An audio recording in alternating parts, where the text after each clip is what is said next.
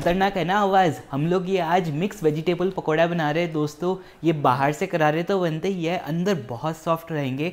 और सब्ज़ी भी इसमें सारी कच्ची वाली है तो आपको ज़्यादा टाइम नहीं लगेगी इसको बनाने में। और मेरे चटोरों, कैसे हो आप? एक नई ट्रिक लेकर आया हूँ, जिसमें आपको है ना वेट नहीं करना पड़ेगा। सब जने फटाफट गर्मा गर्म पकौड़े इन्जॉय कर पाएँगे। तो चलो स्टार्ट करते हैं।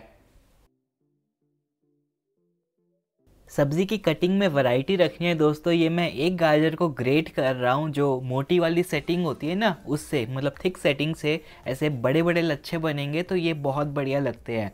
सेम यही साइड से एक आलू भी ग्रेट करना है। तो ये गाजर और आलू के तो लच्छे हो गए, बाकी सब्ज़ी हम लोग काट कर डालेंगे। मैंने एक आलू और काट के लिया है, इसी के साथ में ये दो गोभी के फूल है, जिसको छोटा छोटा पीस में काट लिया, एक बड़ा सारा प्याज ये छः पालक के पत्ते हैं, दो हरी मिर्च और ये एक मीडियम साइज़ का बैंगन, जो छोटा वाला आता है ना, सब्ज़ी की वैरायटी थोड़ा बहुत चेंज भी कर सकते हैं। अब हम लोग इसमें नमक डाल देंगे, ये मैंने टेस्ट के हिसाब से डाल दिया और इसको अच्छी तरह मिक्स करना है। नमक हम लोग पहले इसलिए मिला रहे ताकि बाद में मिक्सिंग में प्रॉब्लम नहीं आए और सब्ज़ी सारी थोड़ी सॉफ्ट हो जाए।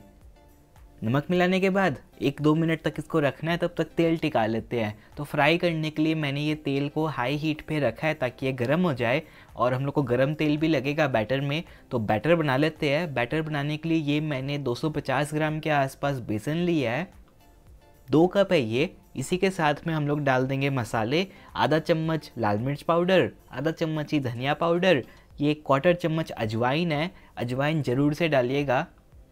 और खट्टा फ्लेवर के लिए मैंने इसमें वन टीस्पून चाट मसाला लिया है। और इसके जगह आप चाहो तो नींबू या अमचूर भी डाल सकते हो। चलो, ये सब तो हो गया। पकौड़े को क्रिस्पी बनाने के लिए ये दो बड़े चम्मच चावल का पाउडर है। चावल का आटा भी ले सकते हैं और एक चम्मच जीजी पेस्ट तो फाइनली अपना जिंजर गार्लिक पेस्ट भी डल चुका है। अब बस इन सभी को मिला लेंगे और ये काम के लिए हाथ बेस्ट रहता है। तो हाथ से अच्छी तरह मिक्स और मैश करके इसका बैटर बनाना है। बैटर को थोड़ा सॉफ्ट रखना है दोस्तों और पानी एक बार में ज़्यादा मत डालिएगा क्योंकि सब्ज़ी भी पानी थोड़ा बहुत रिलीज़ करती है। तो कम कम करके पानी डालिए और इसमें ऐसी कोटिंग दिख रही है ना आपको, ये एकदम परफेक्ट है। इसमें बिल्कुल भी ज़्यादा बेसन और मत डालिएगा। हम लोग जो टेक्निक से बना रहे हैं, इससे बेसन काफ़ी फूलता है और भर जाता है। बस इसमें मैंने पानी और डाला है ताकि ये बैटर सॉफ्ट बन जाए। सब्ज़ी में बस बैटर लपटा हुआ होना चाहिए चारों तरफ़। अभी एकदम परफेक्ट दिख रहा है तो इसमें डालना है गरम तेल। तो तेल जो गरम हो रहा था ना, वो इसमें दो बड़े चम्मच डाल देंगे। दो टेबल स्पून बराबर है ये। गरम तेल से पकौड़े बाहर से क्रिस्पी अंदर से सॉफ्ट बनते हैं। और साथ ही में मैंने ये वन फोर टी या क्वार्टर चम्मच खाने का सोडा भी लिया है।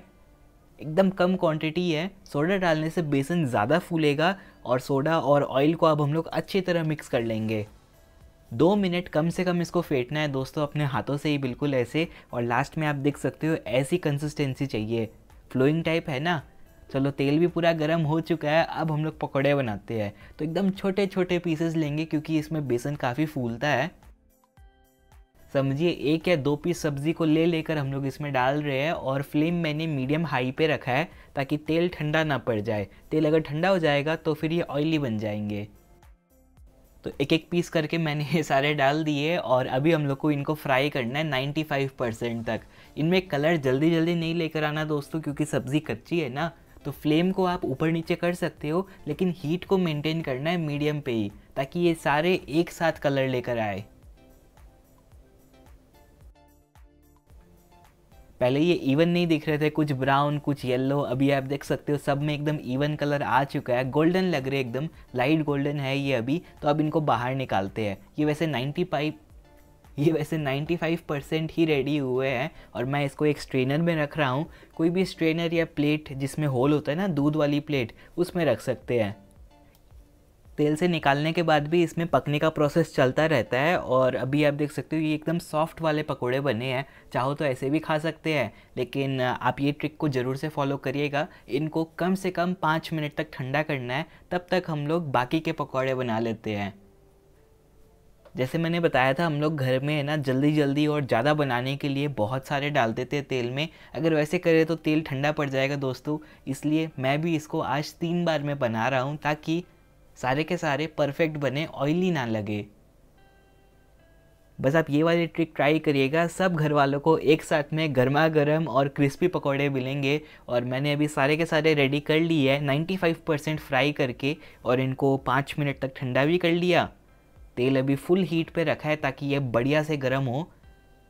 अब हम लोग फ्लैश फ्राई करेंगे। तो पकौड़े हम लोग निकाल लेते हैं कोई भी एक प्लेट या बोल में ताकि डालने में प्रॉब्लम ना आए गर्म गर्म तेल में और फिर तेल एकदम ज़्यादा गर्म होना चाहिए, एकदम ध्यान से साइड से हम लोग इसमें डाल देंगे पकौड़े और इनको 15 से 20 सेकंड तक फ्राई करना है। बस इतना ही फ्राई करना है और इसमें एकदम करारापन आ जाता है। अंदर से तो पकौड़े पूरे पके हुए ही है, बस बाहर से हम लोग को इनको क्रिस्पी करना है।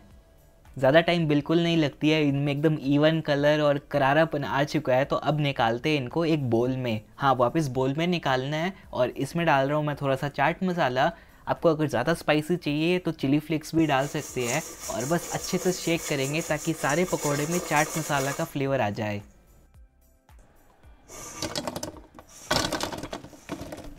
आवाज़ मस्त थी ना? एकदम करारे बनते हैं यार। अब मैंने इसको एक टिश्यू पेपर में निकाल लिया है ताकि जो भी एक्स्ट्रा ऑयल है, वो एब्जॉर्ब हो जाए और फिर हम लोग इनको गर्मा गर्म सर्व करेंगे।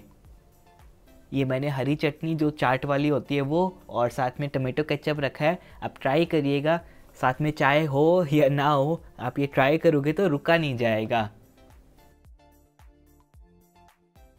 मैं अलग अलग प्लेट में इसकी फ़ोटो खींचने की कोशिश कर रहा था, दस मिनट हो चुकी है, अभी भी आप सुनिए, कितनी खतरनाक आवाज़ है ना?